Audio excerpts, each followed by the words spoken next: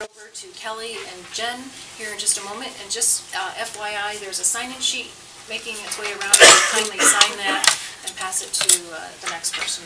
We'd really appreciate that. So, uh, great, thanks. All right. It's all yours, Kelly. All right.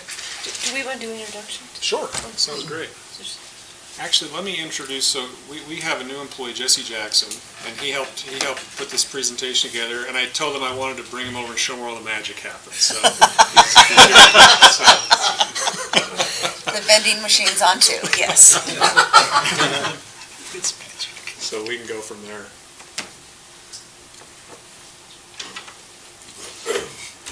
Jeff Einfeldt with the division. Will Schwarzenbach, Dominion Energy Gas Supply. Yes, Wheeler of division. Howard Lubow, Overland Consulting. Steve Beacom representing the American Natural Gas Council. Gavin Mangelson, Office of Consumer Services. Steve Snarr, attorney with the Office of Consumer Services. Jennifer Clark, I'm counsel for Dominion Energy. I'm Kelly Mendenhall with Dominion Energy. Tricia Schmid, AG's office for the division. Eric Orton with the division. Carol Revelt, Public Service Commission. Reed Page, Summit Energy. Justin Christensen, Division. Mike Platt, Dominion Energy Engineering. Uh, Dave Landward, uh, Dominion Energy Regulatory Affairs. Sherry Vance Commission. Eric Bartlson, Gissy. Melanie Wright, legal counsel to the commission. Joseph Holland with Commission. Kevin Higgins, Consultant, to UAE. Jeff Fishman also with me. Dave Duar with the PNC. All right, thanks. Uh, So we received some questions from the commission, from the office, and from UAE. So what we've done here is just uh, put them in, you know, PowerPoint presentation, we'll just go through them. And I thought I'd start with the office's questions because theirs um, provided some good background uh, that that we can build off of as as we go go along. So First question the office had was uh, regarding table on page five of Mendenhall's testimony, please more thoroughly demonstrate how peak day allocations were derived. So this is what table five looked like in my testimony. And I'm going to turn the time over uh, to Dave Landwehr to talk a little bit more about how peak day allocate, or peak days are, design peak days are calculated. I won't, I won't take, uh, I won't take much time, but obviously, you know, if you've got questions. I want to, I want to clarify some terminology. When I talk about design peak day demand, I'm talking about the total firm consumption um, for the entire 24-hour gas day period. That's 8 AM to 8 AM. So I'm talking about the full consumption throughout that 24-hour period. And specifically, I'm talking about the consumption under design peak day conditions, uh, chiefly when the mean temperature for that 24-hour period is a minus 5 degrees Fahrenheit. That's the mean temperature for that 24-hour period. There are two components uh, to the peak day, the the firm peak day demand. I've got firm sales, and then I've got firm transportation. Um, I derive those two numbers differently. The firm sales is estimated through statistical, statistical analysis of daily sales historically against variables that affect that. I'll talk about those in the next slide, but I just want to emphasize that there's a difference in, in the way the numbers are derived. Firm sales is derived, is estimated statistically. Firm transportation is just the summary of the daily firm demand uh, contract amount for each transportation customer. I go customer by customer. Yes, For the temperature, where is that? Where, the location of that temperature? Oh, I'm sorry. That's in the, that's what we call our Salt Lake weather zone, which encompasses the majority, excuse me, the majority of the Wasatch Front. So it wouldn't be like Park City, it would be the No, specific regional area. yep, just along the Wasatch Front. Um, As far north as Brigham City, I believe. Did I get that right? Yeah, and as far south as Provo. Eighty percent of the volumes come along the Wasatch Front on a daily basis, yes. Okay, and then, but, but then the estimates in the derived kind of peak day allocation, um, still, even though it's all derived from, from this part of the state, still is gonna be used for, say, Logan and something as far south as St. George. It's a system-wide number that we're deriving. those guys will be negative five. St. George, but. Right, So- they're so- not going so- to. Some so the regions might, some regions might be different. lower. Yeah, I'm sure. Yeah, and, and, and on the engineering side, that's regionalized. But on, on, on the complete peak day number, peak, design peak day number that you see in the IRP every year, that's derived uh, using what we call a top-down approach, using daily system-wide send-out numbers. With that particular, with that virtually region-wide in terms of the number of customers being represented. So of Dave, negative so, five. so just to clarify, so, so our engineering group does a, what, what we call a bottom can. Sorry, Jerry, the phone got hooked up late. You wanna go ahead and introduce yourself really quick? Hi, it's Jerry Mears from Exeter. Jerry Mierzwa with Exeter for the office. How does he spell his last name? Um,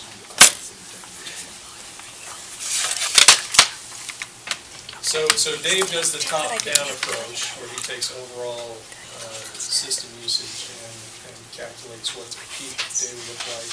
Mike, in engineering, does the bottom-up approach, where he takes the meters in all the regions, takes the different temperature, uh, for all the I'm weather sorry, zones. I I can't, I can't hear a thing. That's gonna be a problem. Can hear, can you hear it now? That is- Can you hear it now? Uh, barely. If anyone's we're gonna have to all lean on the table to get this guy to hear us. Can we pass the microphones around? That's on, How about now? Can you hear me now? oh. No, because that's the stream. That's the street. Oh. That's not gonna help. Hi, Jerry. Do you want to simultaneously try the streaming on the PSC website? Utah PSC? What do I do? Uh. It's um, psc.utah.gov. And once you get to that page, open up, there's an event calendar on the front, open up today's event, and there'll be a listen now.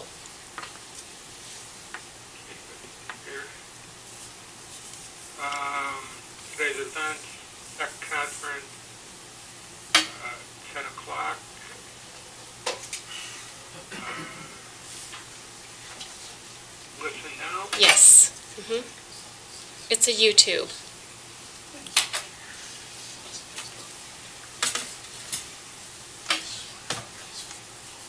Okay, that works.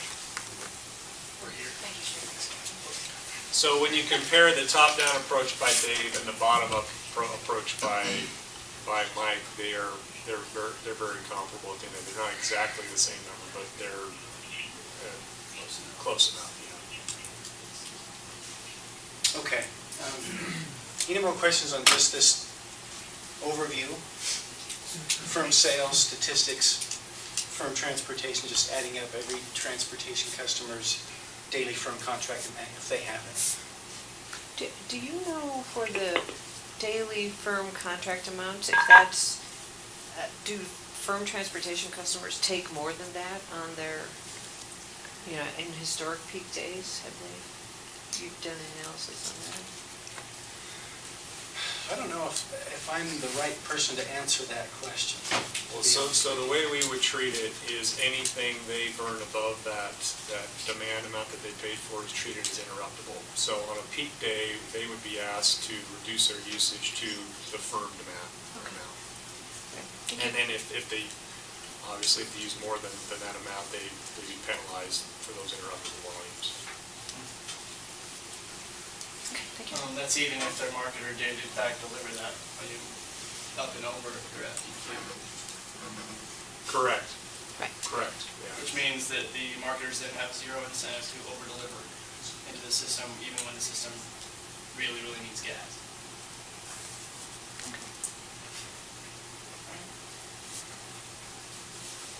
Okay. But there is the option, you could sell us that gas, Yeah, that's true. right? If you, if you had extra gas and wanted to over-deliver gas, you could always sell it to us. Our tariff does allow the option for you to sell it for us to buy it. So we could just make, come to some arrangement where we just buy the gas. from. I don't- Okay. But if there are no other questions on this, let me drill down on this, uh,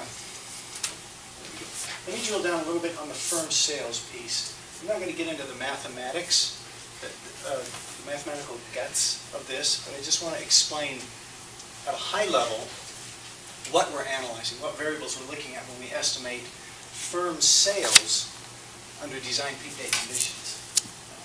We're looking at daily firm sendout. And we're analyzing that against the variables that we know affect it. Um, Temperature that we express in heating degree days. Is everyone familiar with that term? Know what I'm talking about, heating degree days? That's going to be the chief driver, obviously. The colder it gets, the more gas we're going to burn for space heating. Another big driver is what was used the day before. There's a connection between what's used today and what was used yesterday. That's a variable we want to look at.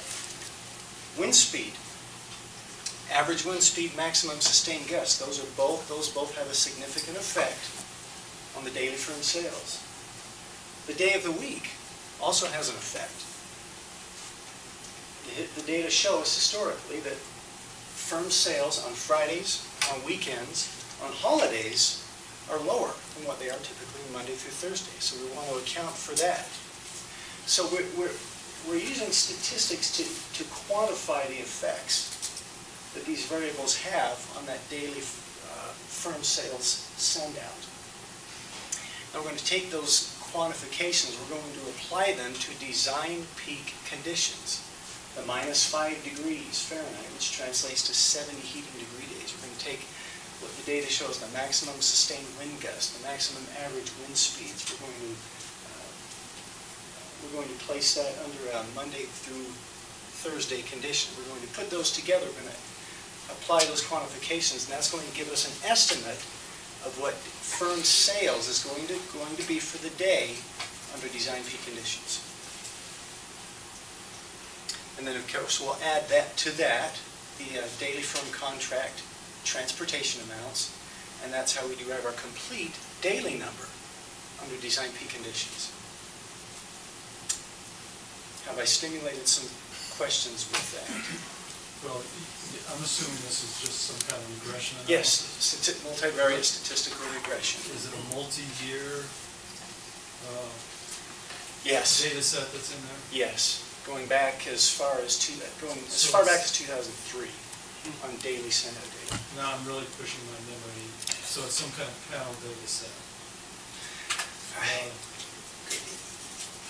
Well, yes, I mean, it's more, it's probably more of a time series and daily time series. Okay, Yeah, that's, that's more how it's being treated. Because I've got, I've got numbers every single day as far back as January in 2003 on firm sales and transportation. And then. Remind me, I mean, the company has how many different zones? So are you collecting data, is this just primarily the Wasatch Front data? This Or is- Exclusively, or is it from the whole system? This is the whole system. This is sys- system-wide send out. Do you have a variable in there for the temperature zone? Or whatever it is, however they classify? I don't, I don't have a variable for temperature zone because I don't have the, the send out data, data split out by weather zone. I've just got system-wide send out. That, that, the That would make region, it- the that would- regionalizing is, is what's done on the engineering end. Yeah, that would make it a panel data set, if you had it by zone. Okay. So heating degree days and usage are driven off of data from 2003 forward? Yes. You're equal weighting old data. Um, We have used a time trend in there to try and uh, account for Kind of changes that, yeah, that can happen over time. We didn't find it at the time to be statistically Probably wouldn't change significant. Yeah, we wanted to put in there to at least control for it. Um, The weather can fluctuate so much day to day, year to year, that I think that probably just gets lost Mhm. in the noise. But that's a good question. Excellent. So the impact of uh, EE and DSM would be just embedded in the usage? Yes. Uh, Just a clarification, when you figure out your load for the um, firm uh, sales customers? Yes. Do you assume minus five temps for all of the state? Well, I'm, On the top-down approach that I'm, that I'm describing here, I, I'm assuming minus five in the Salt Lake region. Uh-huh. That's the variable that, that's the variable that I'm using against system-wide data. Uh-huh. Now, that probably seems like um, an inadequacy, but that's, that minus five is, that minus five degrees is going to dominate the system-wide send-out because it's going to account for about eighty percent of all the send-out. Um, Obviously, we want to be able to get more granular on that for engineering purposes. That's why Mike regionalizes it. That's why he's got temperatures, peak day design temperatures for all the different regions that he analyzes. What I'm doing here is, the primary consumer for this is gas supply. And so, um, and so I want to analyze uh, their target, which is going to be the send-out, everything coming into the system at all the receipt points. Okay. And, and so that's why I need to do it in aggregate. But, but, the yeah, the reason we've selected the, the Salt Lake region's temperature for the, the heating degree days for the, um, for the system-wide daily sends, because it, it is going to be the key driver. So when you say send out, you're not talking about the send out model that, uh, what's his name? Scott? Nelson does? Scott does. No, You're talking about the volume through your city gate. Yes, yeah, all the volume, the total of all the volumes coming in the system from every receipt point. Good questions, what else can I answer for you? Okay, I can hear crickets chirping, that's my cue. So just to summarize, just to tie this back to this table, so the regression that Dave was talking about for all the sales customers, when he adds all those numbers up, that's the number he gets for sales customers. The, so the regression using the historical data, um, the five degree, or, you know, negative five degrees, max wind speed. And then to get the transportation, he just simply takes the contracts for every for transportation customer, lines up their demand, adds it together, and comes up with that amount. So that's how we get to, to that number at the table. So that moves us to, on to the second question uh, from the office, which is please explain how the total usage from the table on page five relates to the estimated peak hourly volumes demonstrated in Exhibit 1.3. So Mike Platt and I both read this question and answered it differently. So I'm going to let Mike answer it, and then uh, I'm going to answer it, and then we'll see, uh, hopefully between the two of us, we can, we can get an answer. Well, so we have this question a lot internally, and I hear it a lot externally, so I'm trying to, to break it down by going through my day. So I live in Sandy, and I have a commute every day, driving to the Salt Lake Operations Center. Now, during the day, I have some meetings, I, I go to lunch. It's possible that I come downtown and, and meet with you people but I end up at the operations center, and eventually, I drive back home. Now, my drive home is a little bit slower than my drive to work every day, and it's because I drive to work at 6 a.m. So I have a, a morning pull, I have some travel in the middle of the day, and I have an evening and this is a lot like how our volumes are throughout the day. But if you think about it, I traveled about 20 miles in the morning, very little throughout the day, and about 20 miles in the evening, but it took a lot longer. So if we look at this and we add it up over the day, well, I traveled 40 miles in the day. And that's what the daily peak day would be. But if you look at it on a rate basis, well, I went 70 miles an hour during the morning, which is about 1,700 miles per day. And then at lunchtime, a lot less, and in the evening, well, my evening drive is a lot slower. So if we look at this and we try to connect it to how our system actually works, well, miles per day is like the daily volume, it's like peak day. And the colder it gets, the further I go. Now, that's not actually true with my commute, but that's how it feels. My traveling speed is like my hourly rate, and the speed limit, wherever I'm at, is equivalent to the system capacity. And what I mean by that, and this correlates really well, I can exceed the speed limit at times. but I'm gonna pay the price. There's only a certain amount of time that I can do that before there are other constraints. So system pressures upstream allow us to flow more at times, but we're gonna hit, hit a wall at some point and have to hit- come back to that speed, speed limit. So if we look at this in exactly what we have in our send-out, well, or in our peak day, we're flowing some volumes pretty steadily throughout the day, and if we add those up, we have our, our peak day estimate. But throughout the day, the rate is changing. And so, this peak hour, well, you can't have any day without a peak hour. You have a peak rate every day. Unless we didn't send out anything, but you're gonna have some peak rate. Now, it, in a theoretical world, could you imagine that the, the rate would be equal to the day? Yes, but that's not how our customers burn gas. And so every day, we're gonna have some peak volume, some peak hour. And I'm gonna turn it back to Kelly, unless you got questions for me on this specifically. All right. So how does that relate to, to this chart? So, um, a little bit about how these peak days are derived. Now let's look at, let's look at, uh, how those numbers are exhibit one point three.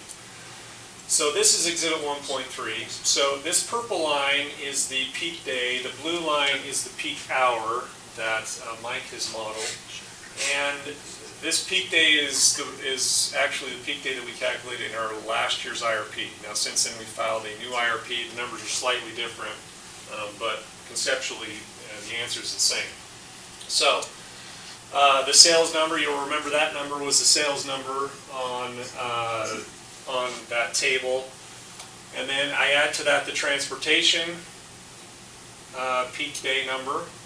And then I also have a special contract customer whose, whose name I will not say, but we probably all know who it is, uh, who, who adds an additional 210,000 decatherms. And so when you add these three numbers up, you get the, the total peak day number that's, that's found in our IRP. Um, so what happens on a, on a peak day is we have enough upstream firm transportation to cover ourselves. For the most part, I don't know if, if all the transportation customers have firm upstream transportation, but let's assume for this example that they have, they have, they've acquired it. So they will be covered as long as the- their gas shows up on the upstream pipeline. They will, they will get enough gas delivered to the city gate. And then the special contract customer I know has enough firm upstream transportation. So we're covered on a firm basis up to our peak day. Now, as you can see, um, the usage, actual usage is going to go over that on, on a peak day. Um, and so this, this amount right here is basically swinging on the upstream pipeline, and that's done uh, on an operationally available uh, basis. So if, if the pipeline can do it, it will.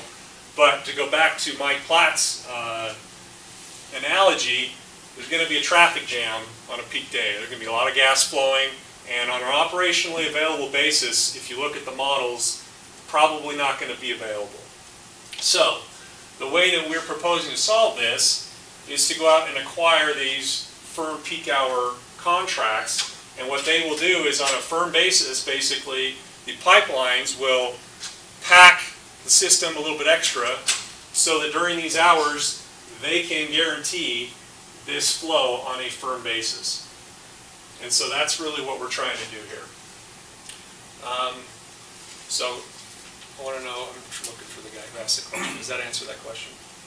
Okay, well, so, based on the way you explained it, the allocation of thirteen point nine percent is based on the total of demand for the peak day line. Right.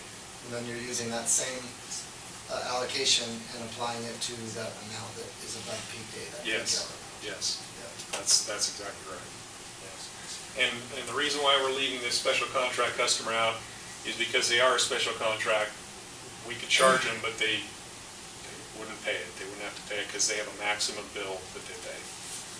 Uh, So what would end up happening is, is we, we would calculate them, include them in the rate, charge them, they wouldn't pay it, and then ultimately it would get allocated back to these folks at the end of the day. So that's why they've been excluded from the calculation. Okay, last office question. Please explain the significance of Wasatch and non-Wasatch volumes and how they are applied in the allocations rate calculation. I'm, I'm glad everyone looked at this, at the source detail behind the graph, because the truth of the matter is, this, this information was actually a, a data mining project that one of our analysts who, who's in graduate school did for, for her graduate project. And so she took all of the data and she, she broke it, Jessica Ibsen, if you know her, broke it down into granular data so that she could do her, her project. But for purposes of what we're doing, we don't use any of it. We don't use the large or small, we don't use Wasatch, non-Wasatch. But since you asked, the Wasatch uh, customers are all the customers from Tremonton to Payson in the Wasatch. Um, and then I think there was a large and a small. Large customers are, are all customers over 25,000 decatherms, small under 25,000 decatherms. So it's interesting data. If you're, you know, if you're a data nerd, um, enjoy looking at it. But for purposes of what we did, we looked at everything on a system-wide basis to calculate all of our rates. Okay, so now let's move on to the commission questions. And you'll find the trend here is that the commission found uh, some errors in our filing, and so most of the questions are are related to those errors, and and we're, we're going to own up to them. So, um, the question is on 105, uh, the sentence says, "Both the transportation and sales customers' peak hour demands are added together to calculate the total peak day demand. If peak day is calculated by summing the peak hour demands, please explain the distinction between peak hour and peak day." So that was actually a typo. That was a good catch. What that should look like, that sentence should read, "Both the transportation and sales customers' peak day demands are added together to calculate the total peak day demand." So that was a typo, confusing. I know I got that question from a couple of people, so um, should have had you read my testimony before I filed it. Uh, Next question, line 89 refers to non-weather sensitive usage. Please explain how DEU calculates non-weather sensitive usage for transportation customers. So we actually don't calculate non-weather sensitive usage because we don't weather normalize transportation customers' um, usage. But since you asked, we thought we'd give it a shot. So how we calculate non-weather sensitive usage for sales customers is we take those customers' lowest usage and lowest daily usage, um, in either July or August, and that is, that represents their non-weather sensitive usage, because, you know, there, no one's furnace is on when you have, uh, zero degree days. And so, basically, any usage that's, that's happening on that given day is, is water heat, it's not space heat. So we did, we tried to do the same thing with transportation customers. It's not as easy for all, for a couple reasons that I'll explain. But if you just strictly take the July and August numbers of last year, look at the lowest usage for every transportation customer uh, during that time period, your lowest, your, your total um, non-weather sensitive usage, now this is everybody excluding Lakeside, is 49,000 decatherms. The problem with that, as we looked at the data, is there are some customers who were just off on some days. I don't know if it's weekends or maybe they're doing maintenance, but they, they had zero usage. And so is that a good, you know, is that a good representation of what their non-weather sensitive usage is? I don't know. So another way we looked at it is we said, well, let's take their July and August usage and just average it and give, give us the average daily usage. So we did that, and when you do that, this is what the, the usage looks like. It's about 182,369 decatherms. Now, the problem with this exercise is you've got some industrial transportation customers, for instance, asphalt plants, whose highest usage would probably be in July or August. And so they're probably skewing the data a little bit. Um, and so another way to look at it um, was we looked at the median. And so if we took the median usage for all these customers, it ended up being 92,000. So that's about the every every way I could think of to to try and calculate it. Um, but at the end of the day, I mean, if you look at these transportation That's what I customers' load profiles, they just don't. I mean, they're they're they're much flatter. And it just just for for grins, we looked at the highest usage for every customer from January 16 to 2017, and that's what the number looks like. Um, But I had some data in my testimony that, that kind of showed the usage for transportation customers versus sales. Uh, this is a graphical representation. You can see the, the sales customer is a red line, and they really use a lot of gas in the winter. Uh, transportation customers, they have, they have a slight peak in the winter, but it's, it's, it's much, you can see much flatter than, than a sales customer. And so that's why I, I, the rate design was based on really peak day rather than, than usage, yeah. That slight peak you see on transportation customers, is that, is that growing over the past years, or is it, is it decreasing? That's a good question, um, and I don't know the answer. Uh, well, actually, it would be growing, right, because we've been adding, uh, about a hundred transportation customers a year for the last, what, five years? So yes, this, I think this peak would be, would be growing over time. If you were to compare this to prior years, it would be higher. Other questions on that? Okay, so number three, um, on exhibit one point two, we showed projected peak day volumes and and we provided historical estimates of, of peak day volumes. Um, so please discuss how forecasts for these years have compared with actual peak day volumes and then B, there appears to be a significant jump in the forecast between the first five years and the last two years. Please explain the reason. So I'll let Mike, um, talk about that a little bit. So compare uh, peak, projected peak hourly peak day volumes to actuals. We haven't had an actual peak day since 1963. We came awfully close in 1990, uh, one degree away from negative five mean, but that being said, I'm going to show you the high send-out days. So 2010, 2011 uh, heating season, we had our high send-out day on February 1st. It was a 19-degree mean. Um, I don't know if anyone remembers all of these days, but they were cold, I promise. The 2011, 2012, we had a 24-degree mean on December 6th. Our- Our peak day estimate was quite a bit higher than that in terms of how much volume we were using. In 13, or 12, 13, we had a, a high send-out day on January 14th, and it was a six-degree mean, getting a little bit, a little bit closer there, but still quite a bit away from peak day conditions. 13, 14, we had a 20-degree mean on December 13th, and again, we're, we're not even close to approaching it. In 14, 15, we had an 11-degree mean, actually had an interruption the day after this event. In 1516, on the 1st of January, it was a 12-degree mean. And on six, in 1617, the most recent, we had an interruption this day. We had a six-degree mean day, and we we're getting awfully close, but still quite far away. And if you're curious, this is the, the 17, 18 graph that we have for our peak day flows throughout the day. So the question, there's quite a large jump in what we see on these graphs in the recent years. I, I have to admit this was an error on my part.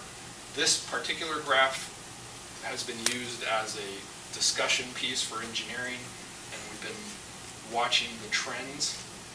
But going back and looking at it, the uh, actual curves on this chart should look like this. So uh, 16, 15, 16 is this black line. 16, 17, which wasn't shown before, is this dotted red line. It's, it's a lot closer, so. But there still is, appears to be a jump there between the lower years and those other two. You know, if you look at the hour, like from the green line up to the, to the other next two, yeah. This, this day, if you look at the blue line, Mhm. you have a very steep uh, curve here. In order to hit the peak day volume, we had to uh, push a lot through the gate at that peak hour, so through the gates. As we've kind of grown into our peak hour services that we're signing up for, that we're, we're pushing more, we're packing our system more early on in the day, and the peak to mean is uh, less because of that, so. These are all peak? These are all theoretical peak days, theoretical, theoretical peak days, so they're all using the same five degree? correct.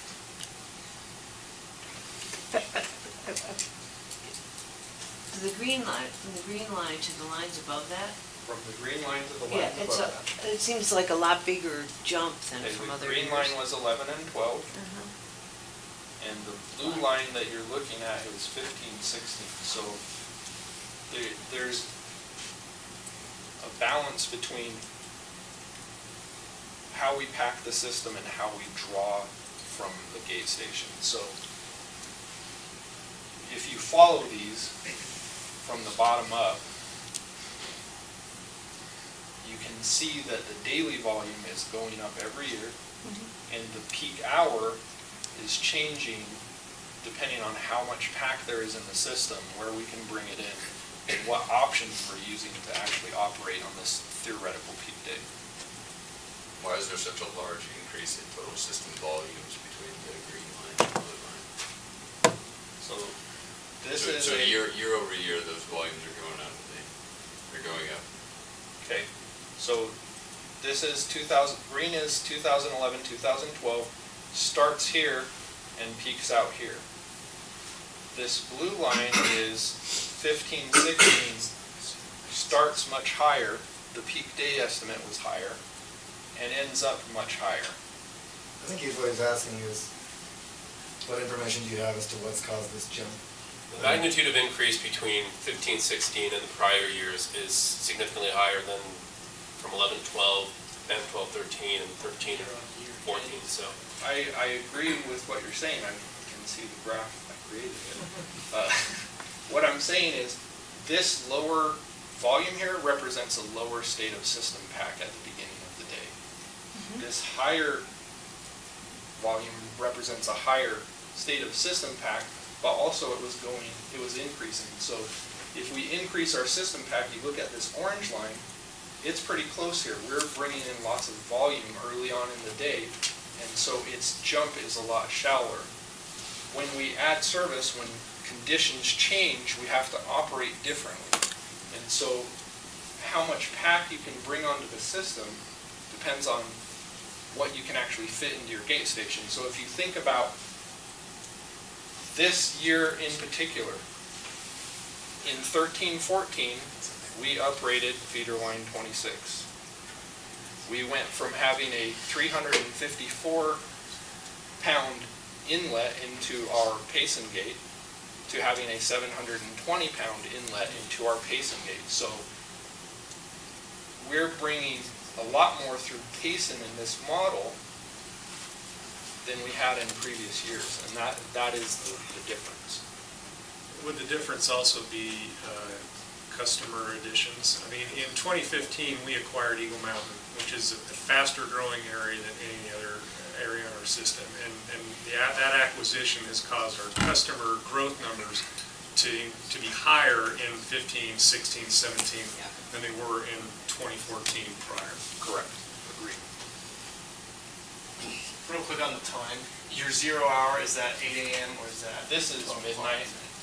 When, when we model, in engineering, when we model peak day, we do three peak days consecutive, and I like to start at true zero.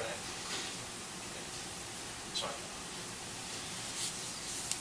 So you packed your system on those ones that started the higher axis. So this year? Exactly. Yeah, so we're, this, this represents feeder line twenty-six at seven hundred and twenty at the beginning of the day. The other gate stations as high as they can possibly be at the beginning of the day. So it looks like the last three, four years, you've increased the packing here. we- we've had to change those conditions, so it's, it's really hard to ex- explain. I mean, this is, like I said, a graphical representation of every single station in the system. And everything we do at every one of those impacts how this. But basically, if the starting point is higher, you have to have more gas in the pipes. Yeah, you're, you're bringing more in early, you're packing it up early so that you can withstand. So you the- can narrow out the, the peak and the trough, right? Exactly. So you don't end up with this insane kind of, almost like gas duck curve situation. Exactly. So, so the volume you're bringing on for the peak day doesn't necessarily change, it's when you can cram it in there. It's when and how. So that it's not just being called in at, uh, I guess, what would that be, nine thirty or whatever. Exactly. Well, I have. Just all of it at the same I, time, I have two constraints in my models that are very important to me, the MAOP, the maximum Uh-huh. allowable operating pressure, and the system operational minimum, which is one twenty-five for most of the system. So I have to Uh, So you gotta operate be inside within- there, so within you're like window. Flappy Bird this whole thing, right? Yeah. Yeah. I mean, Good on you. I'm trying to get my head around all the lines and the theoretical data. Would it not make sense, or perhaps be more uh, realistic to graph the, the known data for the, for the particular time periods?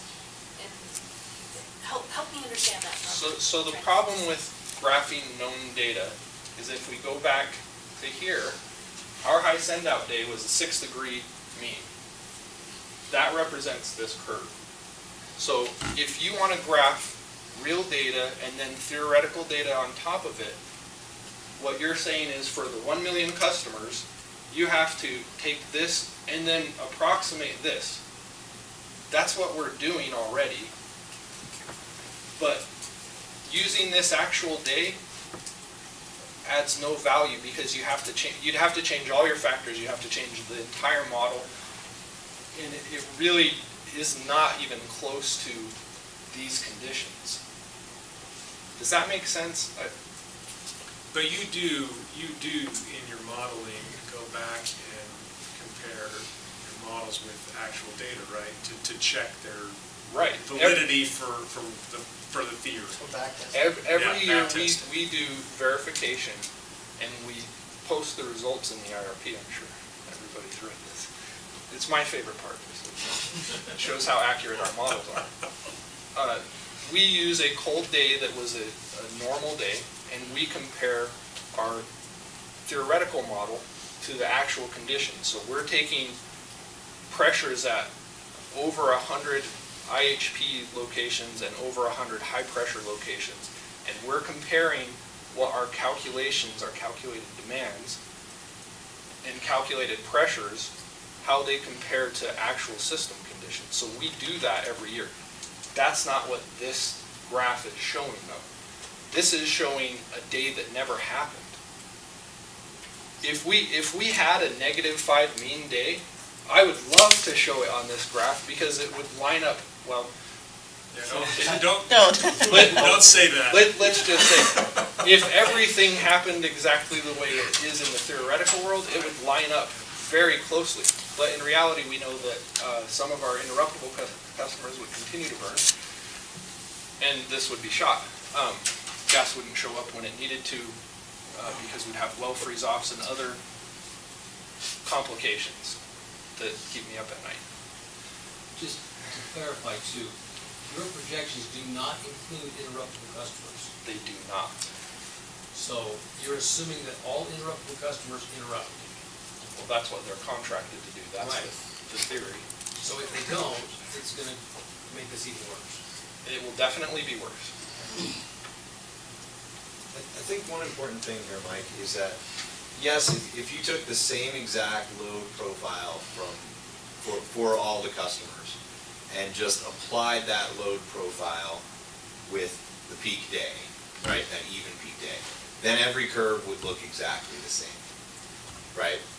But that's not what's going on here. What's going on here is, this is a representation of this, of, of the theoretical, the, the modeled send out at the gates based on meeting that, that peak day demand.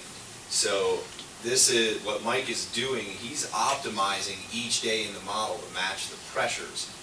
And this is the results of that. It's not applying the exact same load profile to a, a straight line and saying, okay, this is how that load profile is gonna change. This is the results of him optimizing each one of those years. Does that make some sense and kind of clarify the difference a little bit? Why it doesn't exactly look the same? It's not the, just profiling the, the load and, and multiplying it times a bigger number. Does that help? All right, We- I tried. We, we can, ta- we can talk about it more if you'd like to, to meet some other time. I mean, this, this is what we show in section four, the pressures that result from the peak day that Dave comes up with. That is all of section four. These are the representations of what the send out would be on that day. Still getting blanks there. Well, I mean, I think for me, the question was answered by Kelly saying there's additional uh, customers on the system, and that's what's uh, driving the total system volumes to increase. I think it's a simpler question than you're interpreting. Well, Oh, yeah. that has happened before. I'm sorry. So so I think Blake's there, so I think, it's good. I can only play the hand I was dealt. I'm gonna turn it back. Thank you. Okay, so, uh, this, this question was asked already. Um, Other people saw the, the data in Exhibit one point five and wondered what all this non, non uh, Wasatch, large Wa- Wasatch means. And, uh, once again, twenty-five thousand decatherms, so above is large, below is small, and then Wasatch was just the, the Wasatch. Uh, there was another question, um, in that same spreadsheet, um, pertaining to column system-wide less TS, when subtracting TS total values from system-wide total, the results appear to be different. Uh, that was labeled incorrectly, the label should read system-wide less lakeside, so that was the issue there. Okay, so there were a, a couple of, um, questions on the tariff or or proposed revisions. Um, one, one, was pointed out that, that on the MT rate tariff, this is a new charge we're proposing. We didn't break it out on a monthly basis, and we also didn't refer to section five oh one, which is where, uh, this peak hour demand charge is in the tariff. Um, so this is kind of what we, what we thought we needed to do, and I agree, it's, a- it's a good, good change. So going forward, I think we'll add a new section for firm demand, and then we would uh, add the monthly equivalent. Uh, Similar question on the, the TS and FT1 rate schedules. Um, There was no reference to section 501, which is where the, the peak hour demand charge is. And so um, we would propose to add that in as well, here in the purple, just so it makes it more clear for those reading tariff. So are these charts available somewhere? I mean, Yeah, so what, what you see in blue is what is in my testimony in the red line. Um, and then I, I don't know if, that's in your corrected testimony? um, so this hasn't been done yet. This, this would probably need to be done rebuttal or, but, but this is what it will look like, uh, when it eventually gets filed, so. So blue is what we originally filed, purple is what we will, what we will add.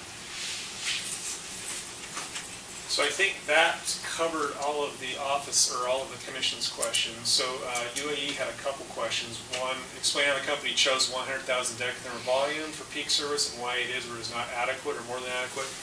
So um, we signed up for 100,000 decatherms on Kern River, and uh, the reason why we chose 100,000 is due to gate constraints and takeaway capacity off of Kern River. That currently is, is pretty much as much as we can take from Kern River. And so, um, as many of you know, in our integrated resource plan, we're planning on building a, a new gate station on Kern, and when that happens, this, this number will, will increase. But for right now, for, for the next three years at least, until 2019, this is as much as we can take from Kern River. Now, if you look at our integrated resource plan, the difference between that peak day and that peak hour is about 340,000 decatherms. And so, clearly, 100,000 isn't adequate. It's, it's not going to cover it. And so uh, currently, we, we have signed a precedent agreement with Questar, with Dominion Energy Questar Pipeline to, to sign up for uh, an additional service from them that would fill that gap. And currently, they do not have an approved tariff, they do not have an approved service. Uh, They had a customer meeting this week, which is required. In order to go before the FERC, they have to have customer support, so we signed the precedent agreement. And I think the plan is in the next week or two, they will uh, file with the FERC to get approval for their service. And, um, and then, uh, assuming, it took Kern River four to five weeks to get approval. I don't know with no quorum if, if they're going to get approval. Maybe, maybe a staff person can approve it, I don't know. But assuming they get, they get their, their service approved by the fall, we would be signing up for an additional, um, or for, for the difference on Questar, or Dominion Energy Questar Pipeline. And, um, and we, I think the plan right now would be we would sign up for a one-year agreement with them and then go from there in, in this upcoming winter skiing season. Yeah. What is the total number you're, you're trying to achieve with this new service? So- 100 Plus what? I think it's, I- if you, if you look at our IRP, it's three forty is, is the magic number. And The then, derivation of that number is where? uh, well, it, it would be in our integrated resource plan, it would be the, it would be, uh, Mike taking the peak day and, and calculating a, a, a differential basically, right, to come up with it. I believe that number is in our integrated resource plan, right? That's, that's where you would see the detail behind that. Figure eight point two. Eight point two? But that's still assuming that you can't cram it in early morning, right? Well, it's not an assumption, but yes, you cannot cram it all in early morning. Well, or, or a chunk of it, right? Because you were still well under early morning, I mean, well under. We're, we're packed up as much as we can be. And actually, that, that is how. So, so it's assuming that they're already doing as much as they possibly can. All right, cool. Right, and, and that is how the Kern River service works, is they allow us to basically pre-pack, Uh-huh. and then it's almost like Drop the ener- energizing the line, and then during those hours when we need it, they give us access over, over our firm now, so. Back into that. Uh, And, and Questar Pipeline can handle another two hundred and forty thousand. Yeah, so, so the way they do it is they're actually going to reserve capacity on overthrust. Um, So there, there's actually forty thousand decatherms on overthrust that they would normally sell that they will not sell. They will basically hold just for this service.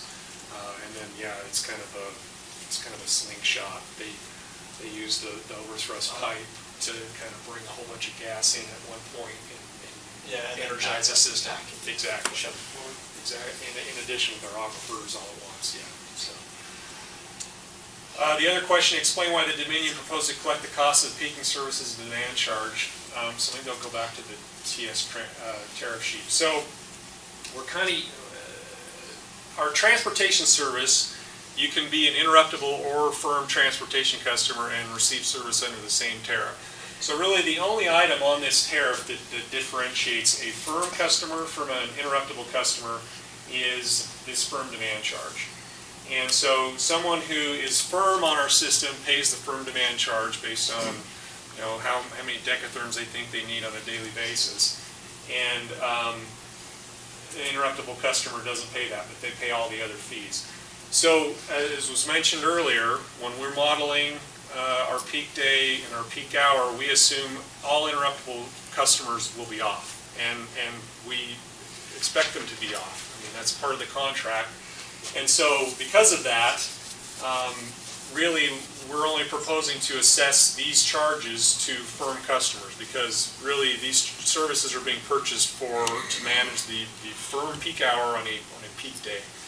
And so that's why we propose to put it all to a, to the, to the firm customers to pay for through their demand charge. Now, it was pointed out earlier that, you know, interruptible customers, there might be some that, that use on a peak day, and we have a forty-five dollar penalty in place to, uh, as, as a, as a result of that. And so, kind of feel like that's taken care of. That, that penalty ultimately gets collected and given back to all of the other customers um, through the infrastructure uh, replacement tracker. Um, So, so they, they would be reimbursed uh, for, for any interruptible customer to use uh, when they're interrupted. So Don't that's kind of the thinking. Get off the interruptible?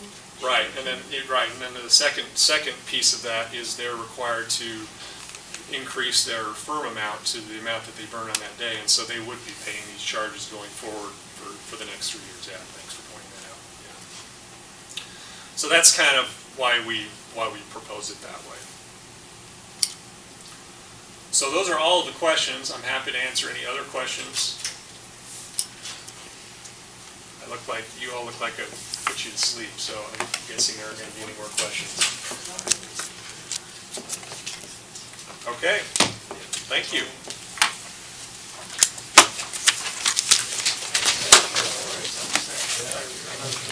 Jen, will these